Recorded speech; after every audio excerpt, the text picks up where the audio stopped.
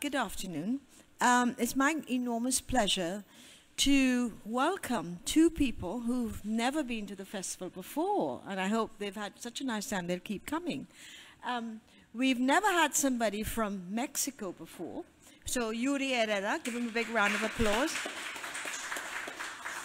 Uh, Yuri is actually a political scientist, and he's a very good writer. And I think we saw him before, yesterday, I think, on a panel here. And today he's going to be uh, chatted to, or with, he'll be chatting with um, Luke Ni is it Neima? Like N-E-I-M-A, Luke Neima. And Luke is from Granta, the very famous British magazine. He's actually the online editor and also the digital director of uh, Granta. And it's my enormous pleasure to welcome you as well. So give them both a big round of applause. They'll be talking, and I imagine you'll be reading, Yuri, for about an hour. And then afterwards, um, I just want you to know that the restaurant will still be open. There'll be book signings outside, and um, there's still T-shirts and guides and things for sale. So see you later, and have a wonderful session. Great. So um, Yuri, you're the Yuri is the author of three um, books that have been translated into English.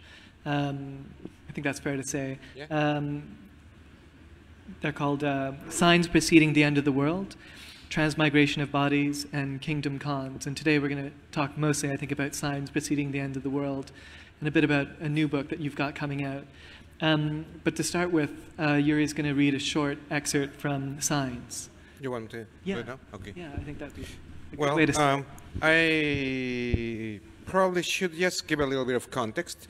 Signs preceding the end of the world is uh, the, the story of a voyage.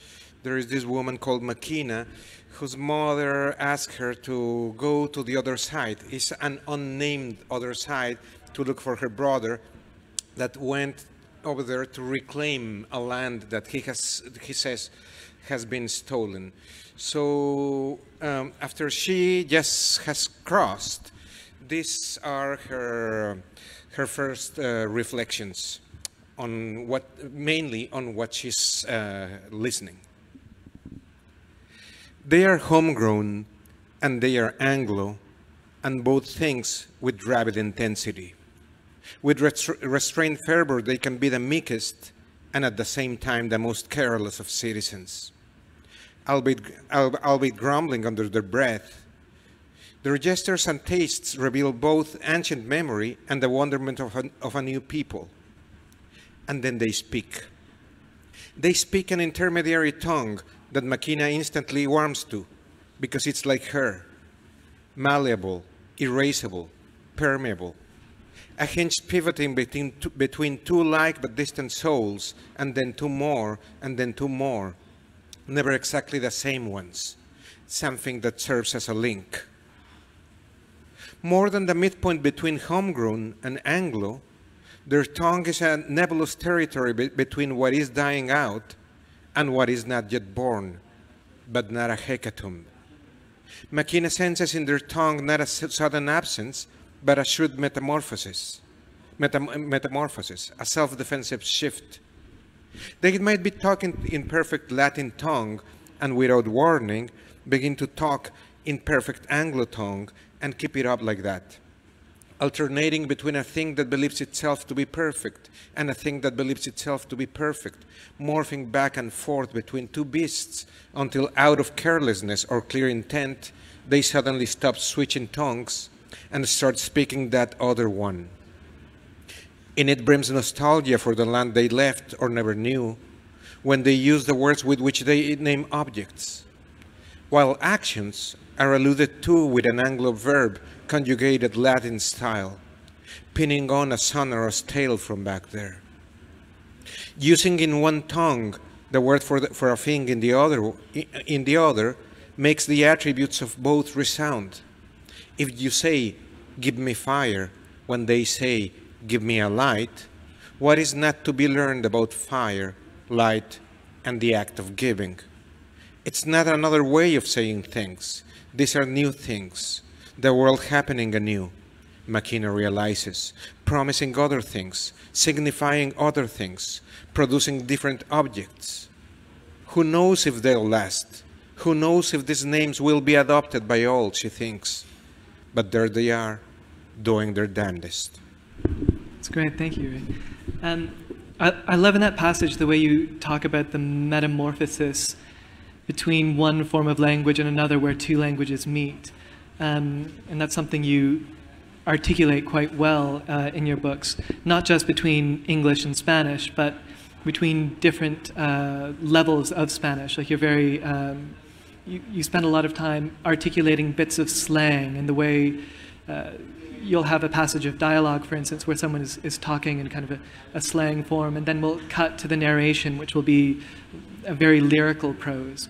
Can you talk about the ways in which you kind of um, switch between those discourses and what happens when you do that? Yeah, well, what I try to do is not to think about these discourses uh, uh, uh, as discourses like clearly clear cut uh, uh, separated you know Yeah. i think if if you if you think about low culture and high culture you will end up doing just a sort of maniatic culture in, in which you are just repeating uh, uh, other other people's uh, rules what i think is my, my as my heritage is all the different kinds in which language uh, keeps evolving and by this i mean also Cervantes. I keep rereading uh, Don Quixote, for instance, and also all the ways in which uh, people create uh, new words and acronyms in Twitter, and also the ways in which politicians destroy the language, and also all the ways in which the television pretends or, or, or, or TV shows pret- pretend to um, to capture the, the, the zeitgeist of, of the moment. And what I think is that we don't have to just adjust to any one of those. But what we can do is to take all, all these ingredients to create something else. You know? Mm-hmm. And this, this comes to me from two two main principles when I'm writing, you know. One is that language is always changing, mm-hmm. that dictionaries are just a point of reference, but it's not, it, it, it, it's not a set of rules that we have to obey.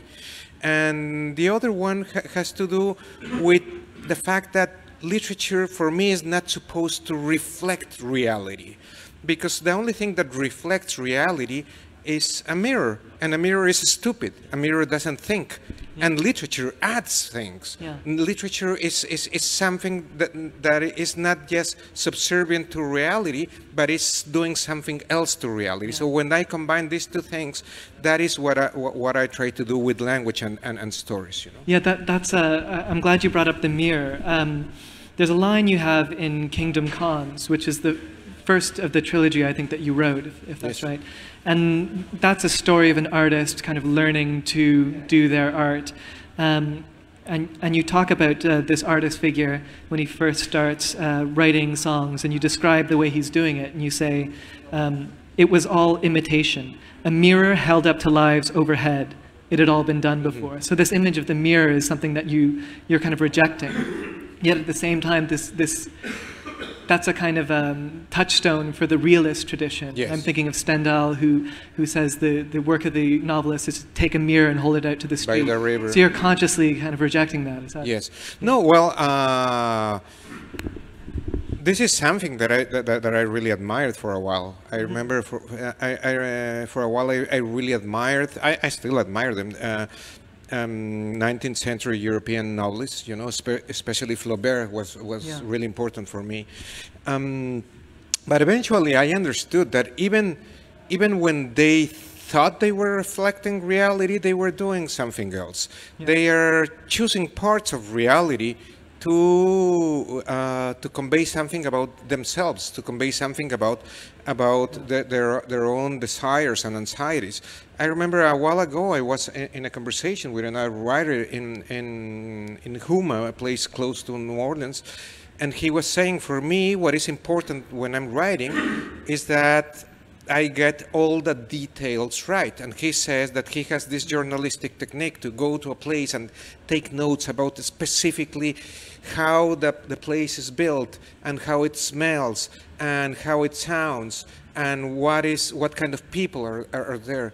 And I told him that I, I, I, agree that that is very important to get to get all that data and to get all the information uh, right. But for me, it's even more important to get the nightmares right. Yeah. You know that because it, it, it, it's not that important that you describe um, describe an object being objective what is important is what this object or what this situation or what this person is doing to your soul and what are how you are reacting in the face of, mm-hmm. of a, a, certain situation or, or, or, a, or a certain character.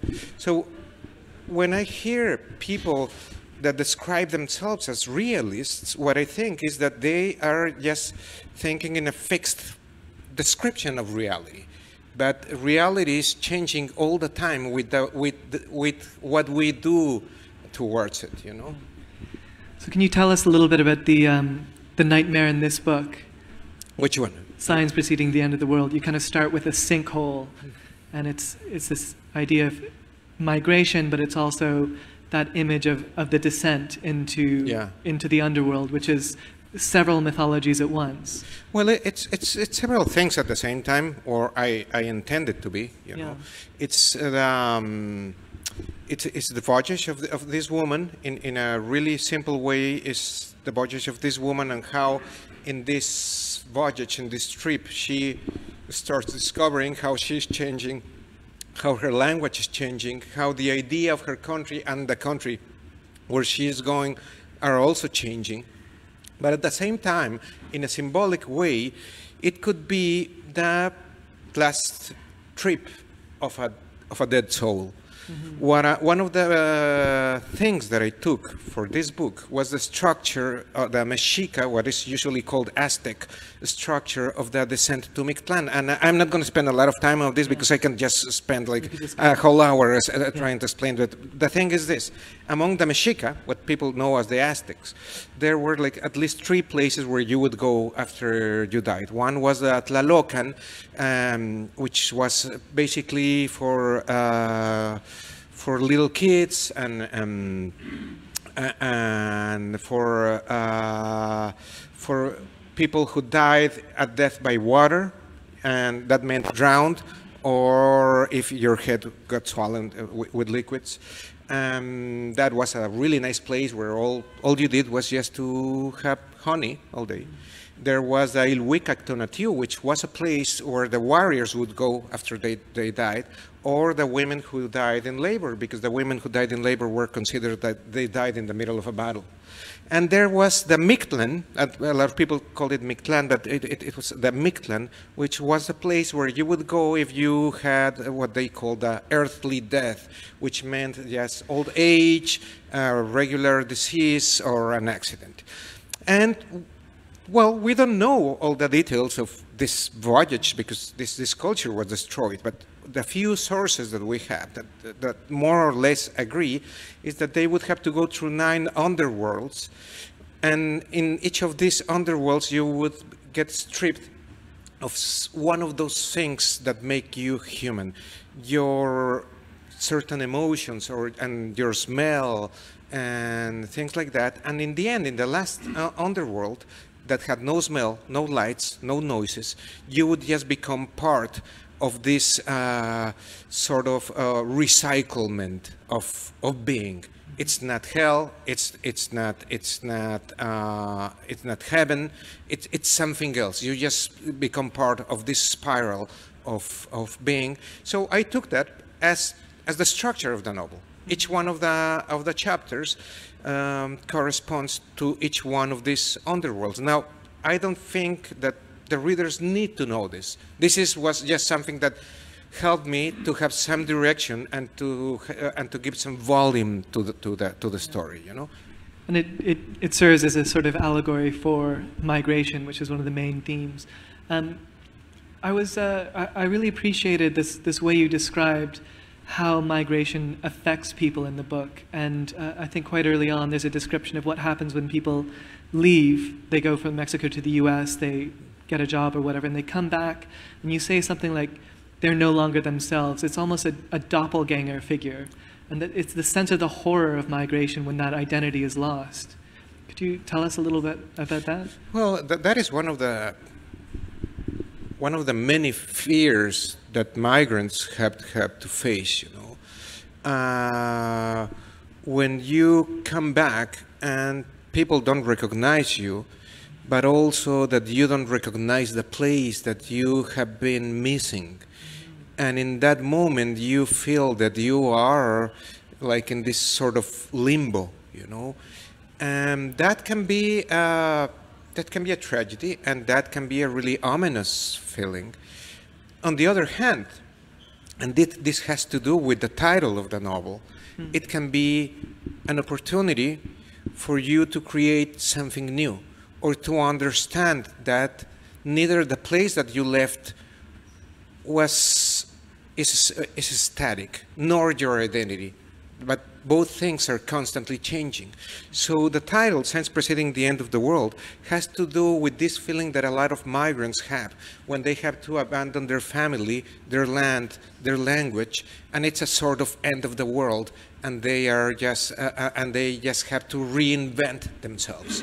And this reinvention uh, part of the of the process was something that was interest, interesting for me when, when I was writing this. That even though it feels like a hecatomb, it's it can be the other thing. Mm -hmm. It re, it requires a lot of strength and it, require, it requires a lot of imagination and it requires luck also yeah. and good fortune. But it is. Um, it is possible. That's that's what I think. That's a that's a kind of personal story too, isn't it? I mean, uh, you've been in New Orleans now almost a decade. Is that right? Uh, no, a, a little bit more than six years. Yeah. Okay, about six years, so not quite that long, but still, as a, a, a Mexican writer writing in Spanish from uh, America, I mean, what does that do to the way that you uh, articulate Mexico? Well, I have lived in 11 cities now. I have lived in two cities in Mexico, then I lived in France, and then I have lived in several cities in the United States. And, well, it, it does a, a lot of things to, to, to your memory, you know memory is also something that is always changing. You know, the past is something that is always changing when you start understanding things in a, uh, under a different light. And being in a different country is very literally being under a different light. And your, your language, or the, the, the, the language with which you remember things also be, be, becomes uh, different. Um, things that you thought that you understood, you start rethinking them. So I'm just going to give you an example now that I live in, in New Orleans, which is a really interesting place within the United States. In a way, New Orleans is uh, it's in the core of American culture because of its musical uh, production and certain political transformations that happened there in a different way, it has nothing to do with the rest of the country. It has its own gastronomy. It, it has really interesting uh, migration patterns. For instance, the most important uh, Hispanic migration in New Orleans is not Mexican, but from, uh, from Honduras. So the same way that if you are in Los Angeles or in Texas, and if you are from either Argentina or Honduras or Guatemala or El Salvador, they call you Mexican.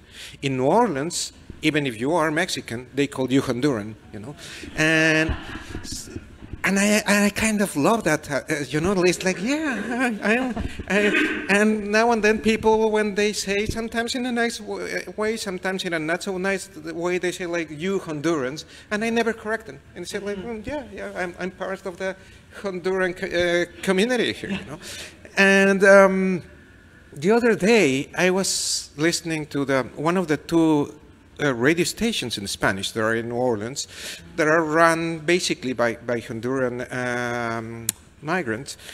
And they were talking about a concert, a public concert that was going to be in New Orleans with, with very popular musicians, especially from Mexico. And the way they were announcing it, it was the biggest musical event in New Orleans history. Which is like a very, very bold statement, statement. For, for, For New Orleans. for New Orleans, you know, for the place where, for the birthplace of, of, of Louis Armstrong and many other people, you know. And it's not that they are ignorant; they know what they are doing. But the thing is this: you have you have this layer of people in New Orleans that are enamored that, with their own identity as a black city, uh, the, the city of, of, of soul, the city of jazz, and they don't accept that the city is changing with all these other migrants that, that don't fit Yeah. with, with, with the dichotomy and the binarism. And so the, the migrants say, okay, you're not going to pay attention to us, we're not going to pay attention to you. Even though there is a constant interaction all the time in, term, in, in, in terms of work. Anyway, I, I think I deviated, but, but what, I, what I was trying to say is that this, uh, this moving around a lot makes you rethink your own culture and makes you do something that I insist is something that writers have to do all the time, which is to feel strange as strangers before reality and as strangers before language so that you have the opportunity to recreate it all over again every time you sit down and, and write you know Um, speaking of the uh, power of writing, I, I think this might be a good moment for you to read the second um, excerpt from, from Signs that you prepared. And this happens after Makina, the main character, is. yeah this is this is further ahead in the book Yeah. and something happened something important already happened to her um, i'm going to stop pretending that, that i can read like this um, something important happens to her and she's walking and she she sees the following scene she already left the barracks when she heard you too assume the position you too she turned and saw a horribly pasty policeman pointing at her. Are you deaf? Get in line. In a vacant lot pooled with black water were half a dozen men on their knees, staring at the ground. They all, they all were or looked homegrown. Makina took her place beside them. You think you can just come here and put your feet, uh, uh, your feet up without earning it? said the cop. Well, I got news for you. Patriots like me are on the lookout, and we are going to teach you some manners. Lesson one Get used to falling in. You want to come here, fall in and ask permission. You want to go to the doctor, fall in and ask permission. You want to say a fucking word to me, fall in and ask permission. Fall in and ask permission. Civilized. That's the way we do things around here. We don't jump fences and we don't dig tunnels out of the corner of her eye, Makina could see the cop's tongue poking out as he talked, all pink and pointy. She could see, too, that even though he didn't draw, he also didn't take his hand off the holster where his gun was. Suddenly, the cop addre- addressed one of the others, the one beside her. What you got there? He took two steps toward him and repeated, What you got there? The man was holding a little book and gripped it tighter when the cop came close. He resisted a bit, but finally let him snatch it away. Ha, said the cop after glancing at it. Poetry. Looky here at the educated worker. Comes with no money, no papers, but hey, poems. You are romantic? A poet? A writer? Looks like we're going to find out. He ripped out one of the last pages, laid it on the book's cover, pulled a pencil from his shirt, and gave it all to the man. Write. The man looked up, bewildered. I told you to write, not look at me, you piece of shit. Keep your eyes on the paper and write why you think you're up the creek, why you think your ass is in the hands of this patriotic officer. Or don't you know what you did wrong? Sure you do. Write. The man pressed the, pe- the pencil to the paper and began to trace a letter, but his trembling prevented him. He dropped the pencil, picked it up, and tried again. He couldn't compose a single word, just nervous scribble. Makina suddenly snatched a pencil and book, and, and book away. The cop roared, I didn't tell you to. But he fell silent on seeing that Makina had begun to write with determination. He kept a close watch on her progress, smiling and sardonic the whole time, though he was disconcerted and couldn't hide it. Makina wrote without stopping to think which word was better than which other or how the message was turning out. She wrote 10 lines, and when she was done, she placed the pencil on the book and fixed her gaze upon it. The cop waited a few seconds, then said, Give me that. Took the sheet of paper and began to read aloud. We are to blame for this destruction. We who don't speak your tongue and don't know how to keep quiet e- either. We who didn't come by boat, who dirty up your doorsteps with our, with our dust, who break your, bar- your barbed wire. We who came to take your jobs, who dream of wiping your shit, who long to work all hours. We who filled your, your shiny, clean streets with the smell of food, who brought you violence you you'd never known, who delivered your dope, who deserve to be changed by, by neck and feet. We who are happy to die for you, what else could we do? We, the ones who are waiting for who knows what. We, the dark, the short, the greasy, the shifty, the fat, the anemic. We, the barbarians. The cop had started off in a mock portentous voice, but gradually abandoned the histrionic as he neared the last line, which he read almost in a whisper. After that, he went on staring at the paper as if he'd gotten stuck on the final period. When he finally looked up, his rage or his interest in his captives, ca- captives seemed to have dissolved. He crumpled the paper into a ball and tossed it behind him. Then he looked away, turned his back, spoke over the radio to someone, and took off. Makina stood as soon as, uh, as the cop had gone, but the others took some time to realize they weren't under arrest. They looked at one another, half glad and half mistrustful, then looked at Makina but couldn't say anything to her because she started walking again, and all they could make out was her silhouette against the sun. That's lovely. A round of applause. Um, I, I love that excerpt because it, um, it demonstrates something that you do well, I think, in a lot of your writing, which is to create or show a hierarchy of power and then to subvert it. What gives writing the ability to subvert power? I am not sure. Uh, when, whenever, whenever people speak about political writing in literature, and or ask if your writing is political, I always say that every, every all writing is political in the sense that every single word that you choose has uh, has meaning in a political in a in a political sphere, and that you are assuming as natural certain hierarchies and certain positions of power, and certain ge- genders ge- gender positions and uh, and race relations, and and even though you you are not doing an explicit political discourse about it, you are always part of of some uh, some, uh, some part of it, and what I think is that uh, literature changes the political conscience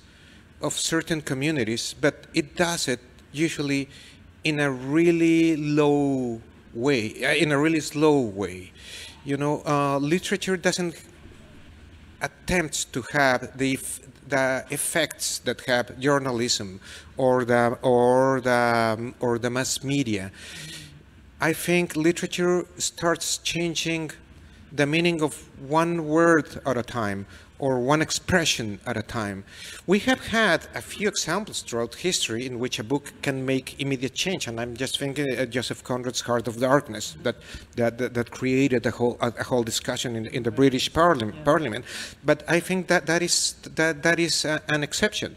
In general, it has to do with um, a slow circulation of, of books and how people uh, uh, and how certain certain ways of looking at reality start becoming um, a generalized way of understanding reality. And I'm thinking, for instance, in Kafka.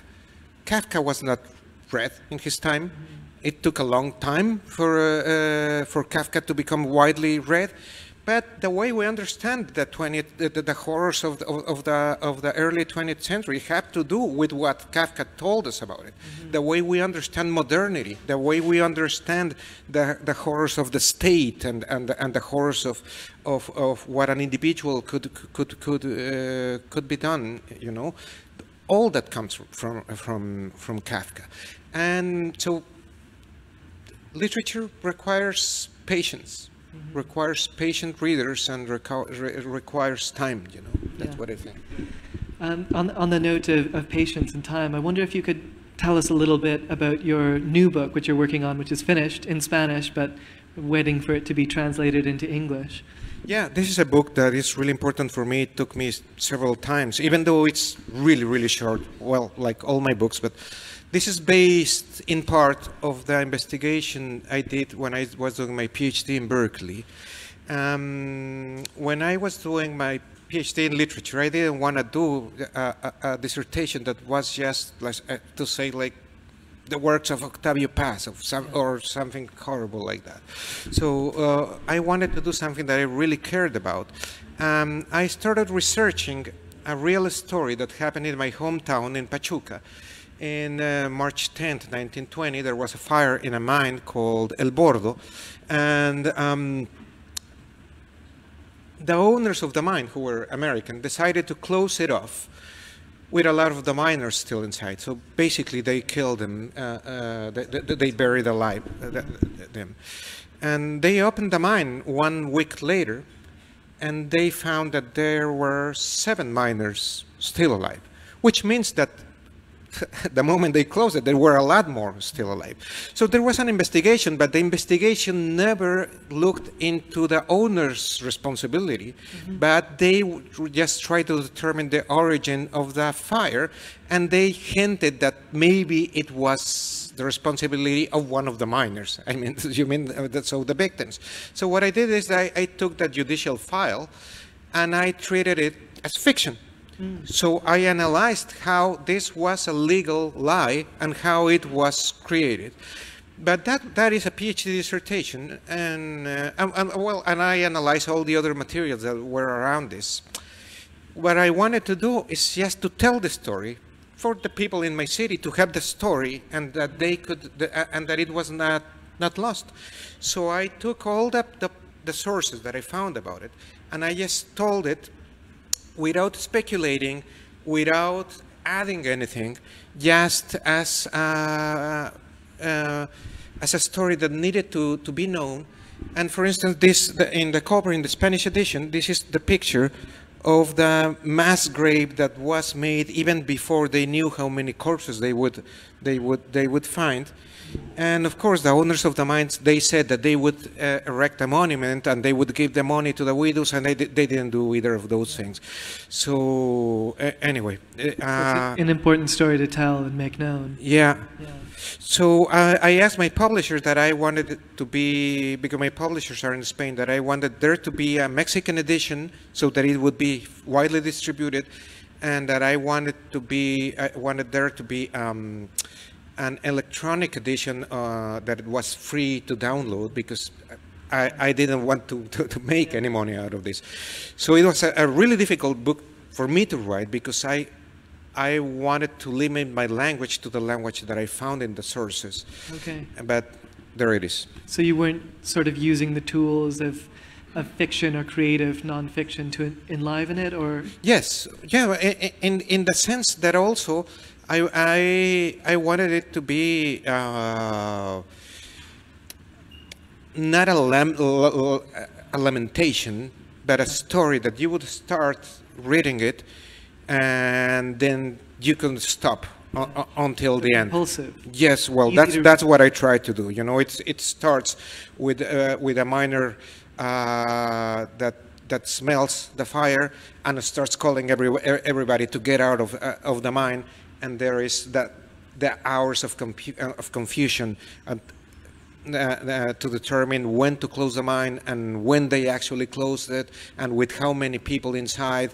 Um, and then a description of what happened the next days while the women were waiting outside and they wouldn't let the women get close to the, to the mine and they were desperate and, and, and they were like physically trying to get in, in, Yeah. into the mine even though it was on fire because they wanted to rescue their, their loved ones, you know. Yeah. So it's a kind of anonymity. Uh, y- you're, you're telling us about this disaster, but uh, is it important to also just articulate the emotions of these people as they're going through it, or? Well, yeah, but the thing is this: for me, one of the important parts of the of the novel is what has not been told. yeah, Because I didn't want to do what, for instance, the press of the time did, which which is that they didn't interview the the surviving miners or they didn't interview the widows. They just assumed what they were feeling, and that is another level of violence. And I didn't want to do that. So uh, what I said is, what we don't know is part of this story. What we don't know is an object in this in this story. What we don't know is something that has to be acknowledged, and I don't want to just fill it fill that void with my imagination. You know. So. Um, what I gave is what, what, what I give in, in the text is a description of the other kinds of violence that we know about, so that you can you can you can imagine what these women would feel when they know that their loved ones are there So the being reader- buried alive. You know. the reader can fill in the gaps. yes. Because there's a way in which just facts and, and the kind of description of facts can, can be alienating, but or the same way they can have a kind of cumulative effect in, in the way that Bolaño does in, in a, in novel like 2666, where he's describing the violence done to women, and, and, and it's just that the story after story after story sort of um, achieves a different sort of force. Yeah, uh, uh, a thing that is sort of similar to that in this way is that um, the the authorities interviewed all the widows and the women because they wanted to assert if they were who they were in order to give them an indemnization, some, to give them some money.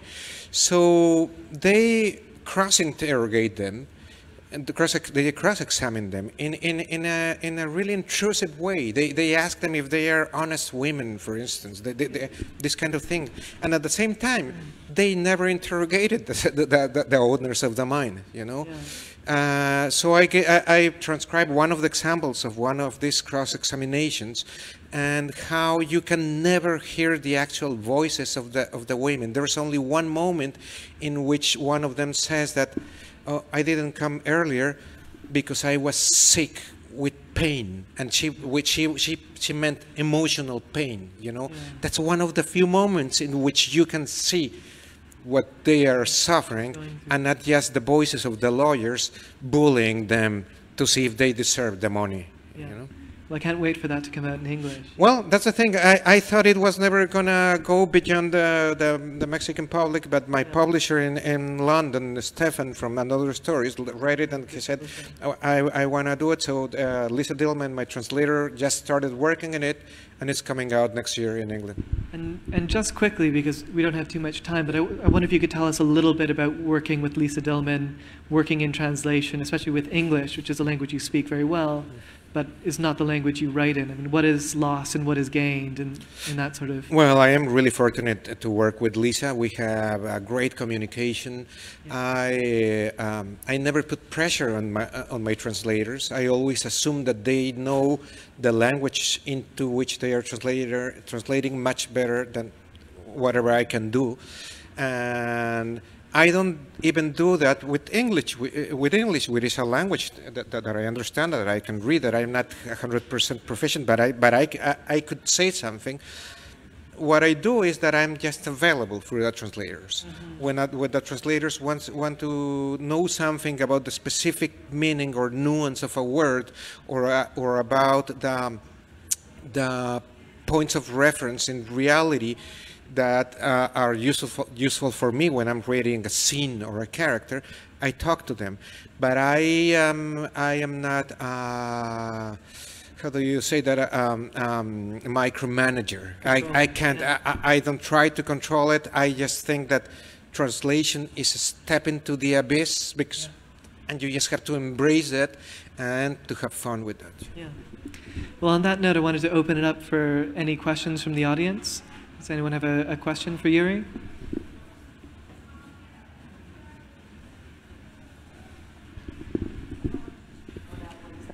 Hola. Is it? Okay, thank you. Um, hi, good afternoon. Uh, I want to thank you, first of all, for looking at the idea of mixing language. Uh, yo soy de California y cuando yo era chiquita, um, yo tenía una amiga y cada día su mamá me dio una palabra en español. So what I told him is that I grew up in California and when I was little, I had a friend whose mom gave me a word in Spanish every day. Entonces asistí al colegio para ser maestro bilingüe. Yo quiero saber qué te piensas sobre la idea del uso de Spanglish. So my question is, you know, uh, I, I went to college, I majored in Spanish, and I want to know what your thoughts about the use of Spanglish is, since you're looking at the Yeah. idea of mixing culture and language. Gracias. Well, well I, uh, I remember an anecdote. I don't know if it's true. I heard it years ago that at some years ago there, uh, Carlos Santana was giving a press conference in California, and a Hispanic American, uh, uh, Mexican American girl approached him and said, uh, uh, I'm really nervous. I don't know if I should speak to you in English or if I should speak to you in Spanish because you're Mexican, but you live here and you speak English. And he said, Hey, you are American, speak Spanish, you know? which, Whi- whi- which which is something that that, that I totally agree that it's it's like, like um, the whole fantasy of an official language is just something that is only enforced by certain institutions, but language is always changing. And one of the ways in which in the United States more dramatically is changing is in the mix of Spanish and English. The, the, the problem, and I, I don't know if I sh- should call it a problem, but my reflection on the word Spanglish is that usually it pretends to describe a new set of rules for a new language. And what I'm thinking is that Spanglish cannot be this third language that is just static and, uh, and that it's going to be replacing the other languages. Because what you have is different kinds of Spanish mixing with different kinds of English. You have the Spanish spoken in Honduras, you have the Spanish spoken by the young people and by the old migrants. And, and really, they, there, they, there can be very different registers. And it's not the same thing speaking to uh, uh, snob uh, art critic in New York or to or, or, sp- or speaking to someone in the in the hoods in Chicago. You know, there can be very different uh, uh, variations in, in, their English. And when you mix this, when you have all these ways of combining, you have more than this one thing that they call Spanglish. So I agree with Spanglish only with the use of this word on, as far as it describes not a new static language, but this really complex, joyfully chaotic set of mixes, you know, of, of, of, the Spanishes and the Englishes, you know. Thank you. Yuri, good day. Um, I noticed in the text that spoke about your session today, Trump was mentioned, you know. Now, I want to know, you as an author with your background, how do you tell a story involving uh, a person who says, uh, we will build a wall and we'll let Mexico pay for it. With the historical background of Texas, New Mexico, a whole set of southern states were actually taken away from Mexico originally back in the day. And we don't hear much about that no more. That is like, that is a, a rite of passage that people have glossed over and accepted as historical fact. So how do you put all of this in a pot and mix it up and call it a book?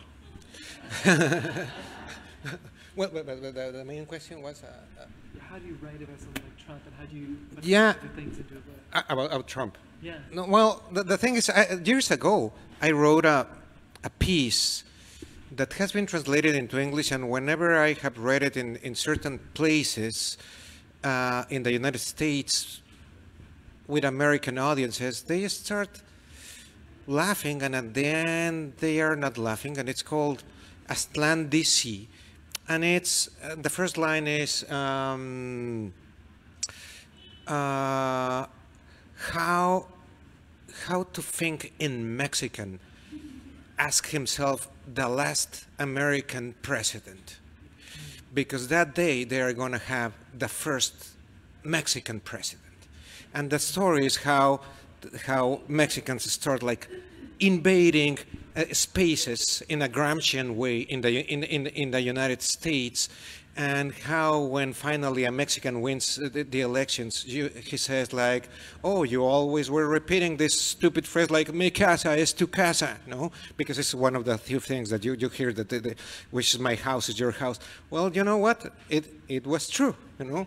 And, uh, uh, and the thing is, I didn't write this to please Mexicans because I also don't like the Mexican nationalism and I'm against all these kinds of patriotism because also Mexico has been horrible towards Central Americans, you know, as bad as, as Americans toward Mexicans or even worse. So in the end, when the, when the president finally arrives and takes a look at his new office and the Oval Office, and he says only one sentence. He says, we are going to have to change these drapes, but he says it in, in French. Uh, because I, I, wanted the Mexican president to not speak Spanish, just, yeah. just to also mess with the Mexican audiences. and, but the thing is, I, I wrote this years, years ago, and I was playing with what later became reality, which is all the paranoia in a lot of in a lot of the American population of, about all these dirty Mexicans that are coming and take and take our country. And whenever people uh, are disagreeing with me or are angry about these things, I said like, well, then you have to think about your addictions because you are addicted to cheap labor, but then you don't you don't want that labor, mm-hmm. and you're addicted to drugs, but then you, you but, but then you create all these wars. So assume what you are addicted to. And then we can talk about, about some new rules, you know.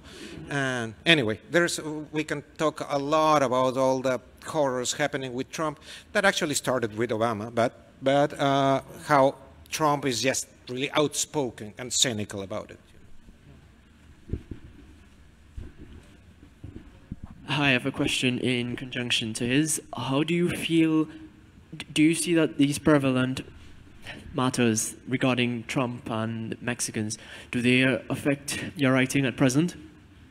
Well, uh, the thing is, uh, um, I wrote a piece a few months ago for a uh, magazine in, in, in, Mexico. It was also translated into English. It, it's called Beyond the White Noise. And it was, I took this example, I was reading a piece in the New York Times about a guy, a liberal guy who hated Trump so much that he decided that he was not going to read any kind of news. So he went to his house, a really beautiful house, and, and he blocked every news site and told all his relatives and his, uh, and his friends, don't you ever talk to me about Trump. And he says, like, I'm, I'm really happy. I'm living, I, I, I don't have all these horrible things in my mind. And I was saying is, you know what, there's millions of people that don't have that privilege of not knowing what is, what is going on, you know. So, uh, yes, of course, I am aware all the time, first of all, of my privileges. That I can, I work in a university where I can say whatever, uh, whatever I want, and that I can publish, and I, I, can, I, can, I can say Trump is a Nazi in public, and that I can say that, uh, that, that all these guys in the border, they are not patriots, they are just cowards, they are, they are persecuting uh, women and children that are looking for, uh, for jobs. But there's millions of people that are suffering that without speaking out. So I just have to take that into account when I am writing, that it's an immense privilege that I can say that there or that I can say it here. And that uh, also somehow this will change the way in which we use certain words, you know, how we talk about democracy, how we talk about law, how we talk about uh, human rights. Whenever we use these words, we have to remember that the American state is kidnapping children at the border, you know. So we cannot use those words again in, in just the way we were using them before. A question over over there in the back. Thank you very much. Everything you've said has been really uh, enlightening. Uh, my question, I guess I have a personal interest because I'm a native English speaker. I'm an American.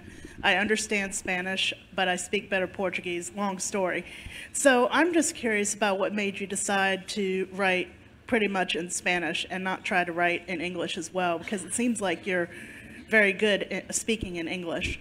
So I was just wondering if you had any comments about that, trying to write in a non-native language. Well, I, I, I worked for the first time outside my country when I was 30, you know? So, so Spanish is my, is my na native language, and I go constantly back to Mexico as, as, as much as I can.